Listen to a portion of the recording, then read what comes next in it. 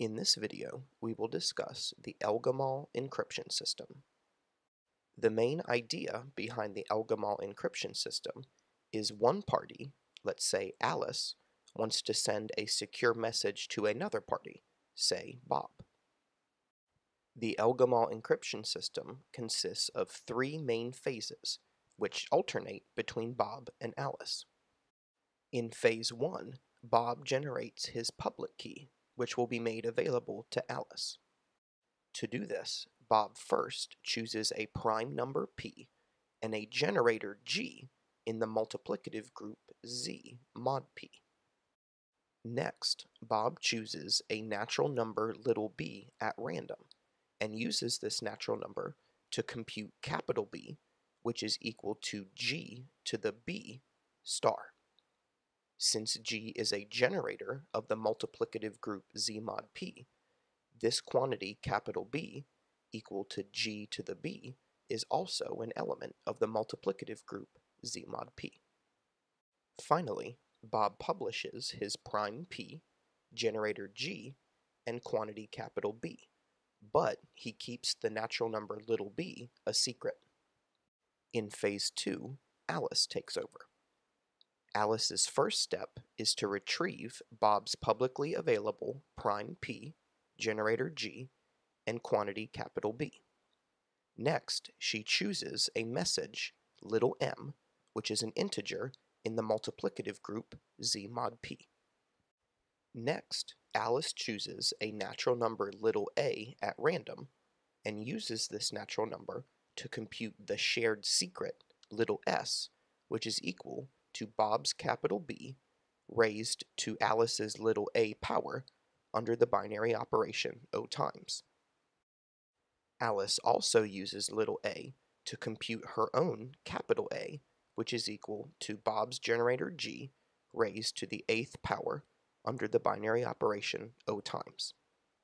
To ensure that Alice's message is only able to be opened by Bob, she encrypts her integer m by computing capital X, which is equal to m times s mod p. She then sends the ordered pair capital A, capital X to Bob. The third and final phase consists of Bob retrieving and decrypting Alice's message. To do this, Bob retrieves the ordered pair capital A, capital X from Alice and computes the shared secret little s, which is equal to capital A, to Bob's secret little b under the binary operation O times. In order to undo Alice's encryption, Bob needs to compute the inverse of the element little s inside of the multiplicative group Z mod p. Once Bob has the element S inverse, he decrypts Alice's message by computing capital M equals capital X times S inverse mod P, which is equal to M, Alice's original message. To illustrate the ElGamal encryption system in action, consider the following example. Suppose that Bob chooses the prime P equals 7, the generator G equals 3, and a secret natural number B equal to 4. Bob then computes capital B, which is equal to 3 to the fourth power mod 7, which is equal to 4. Bob then publishes his prime P, generator G, and capital B. But, as always, he keeps his little b equal to 4 a secret. In phase 2, Alice receives Bob's prime 7, generator 3, and capital B equals 4.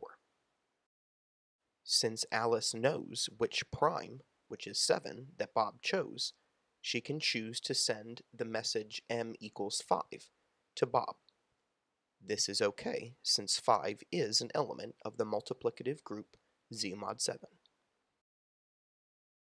Alice randomly chooses the natural number little a equals 6, and then computes the shared secret which is Bob's capital B, to Alice's little a power, mod 7, which turns out to be 1. Alice then computes her capital A, which is equal to the generator G to the eighth power mod 7.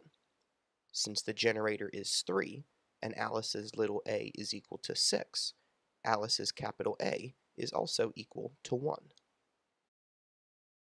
Finally, Alice encrypts her message by computing capital X, which is equal to 5 times 1 mod 7, which is equal to 5.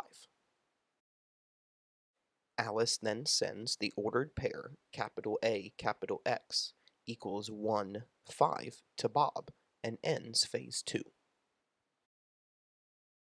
In phase 3, Bob receives the ordered pair 1, 5 from Alice and computes the shared secret S equals 1.